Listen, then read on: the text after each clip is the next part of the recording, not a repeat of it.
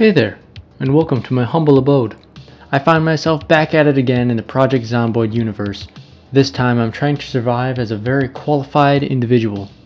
More qualified than David Goggins, and significantly more qualified than a man with a comedically oversized spoon. We must survive as a forklift certified survivor.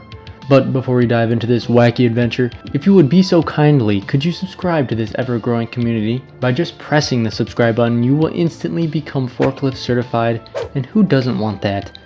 Alright, with all that out of the way, let's get into this adventure. To kick this adventure off, we start by choosing our occupation prior to the start of the zombie apocalypse. Since we're forklift certified, it would only make sense to choose construction worker. For negative traits, I chose out of shape and overweight, since all we do is sit in a chair all day. Sort of like a crusty Valorant player, but we're just forklift certified. Next, I chose Speed Demon because I have a Praise Dale Raise Hail bumper sticker on my 1998 Ford Ranger. Wakeful because I snort G Fuel to start my days. Iron Gut because I eat so many gas station cheeseburgers my stool comes out as black sludge. And a Light Eater because if I eat more than one gas station cheeseburger, my heart feels funny and my right leg and hand tingles. Now, let's begin. We start our journey like every other resident of Ohio at our hazardous material cleanup job site. Looks like we got left behind to watch over all the equipment while the rest of the crew went back to our hometown for a little R&R at Arby's. Unfortunately for us, the Zombie Apocalypse Ball was picked for our 2023 bingo card, so we're SOL. However, we have a great vehicular advantage over everyone else. We just need to find it.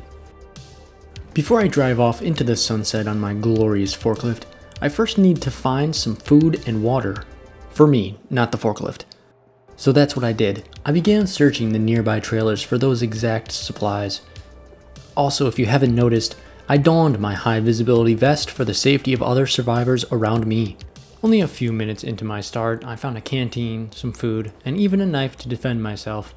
I slithered my way to the last building in the lot and jimmied my way into it. That's when I caught a glimpse of it my bright yellow, 9,000 pound chariot. Just like that, I'm ready to take on the apocalypse. I quickly finished searching the area for any more useful items and hopped on my forklift for a little test drive. Driving the forklift at first took a few seconds to grow accustomed to it, since its reverse maneuverability. The wheels are in the back, so if I steer right, then the forklift goes left. It's very complex, but luckily I'm forklift certified. I approach my first proper household and grow giddy to the unknown treasures that lay within. Immediately upon entry, I spot a deceased survivor. Luckily, they were dead dead, not dead walking around dead. The only thing that I found of use inside of this house was a few cans of food and some skill books that may or may not come in handy later. I continue to the house next door where I find a deceased survivor. Unlike the last one, this guy is walking around dead, so I make him dead dead. This time after looting this place, I only find a single useful book. Not even food or band-aids, unfortunately. So I go back to my glorious steed and venture further down the street, where I stroll upon a couple of undead ghouls. I think it's the perfect time to test out the durability of my shiny death machine. I figured it would do a bit more damage considering a standard forklift weighs around 9,000 pounds, and we all know a zombie skull wouldn't survive a single encounter with this beast. As soon as I finish dispatching one zombie, another one wants to join in on the fun. Next thing I know, there are like four more zombies who seem interested in my forklift. So, I get to work mowing down the small horde. One downside to this forklift is that it is very top heavy, so I have to be extra careful not to tip this thing, otherwise I'm a goner. Also, not only am I a solid zombie killer, but I'm quite good at taking out mailboxes as well. Luckily for me though, there are no felonies or misdemeanors in the apocalypse, so it's a win-win. To reduce the chances of me tipping the forklift over by running over the bodies, I dismount and engage in hand-to-hand -hand combat with these undead weenies, one by one.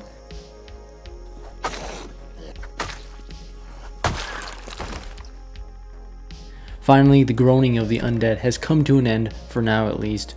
Time to do some looting real quick before I continue.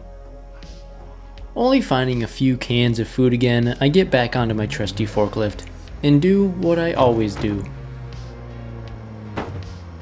Before I call it a day and get some rest, I notice a light bar option in my settings of my forklift, and you know I have to check it out. Unfortunately for me, when I turn it on, It's an alarm that only zombies can hear, because before I know it I'm being surrounded again. I guess my day isn't over after all.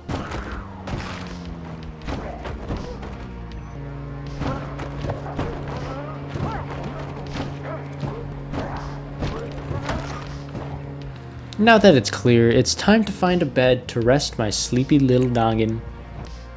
At 4.50 am, I hop out of bed well rested, ready to take on the day, so I scrounge for more food and get back on the road.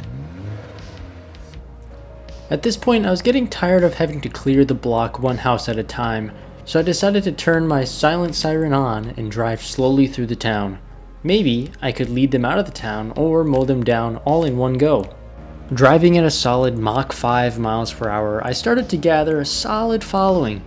I thought it would be mighty misfortunate if my forklift were to run out of gas, but we'll just take our time and not do anything stupid.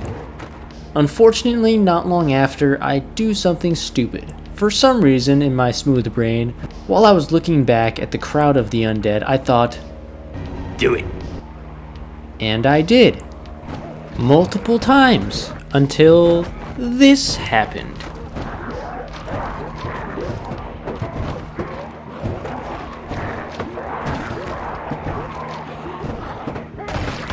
Just kidding. You thought something bad was gonna happen. You really think after barely making it through that, I would do it again? Yep, I did it again.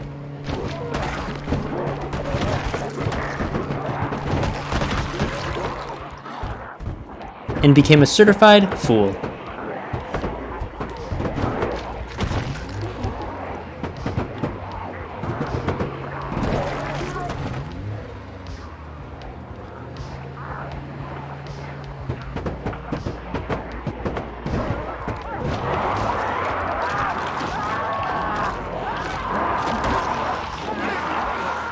Man, being forklift certified is stupid anyways. If you made it this far, thank you so much for watching. If you like this kind of content and you aren't subscribed already, go ahead and join this ever-growing community. If you want to support me even more, you can go and buy me a coffee. The link is in the description if you'd like. Also, I know this is a little overdue, but thank you again so much for getting me over 500 subscribers within such a short time of me uploading. So thank you again so, so, so, so much. And I will see you guys in the next one.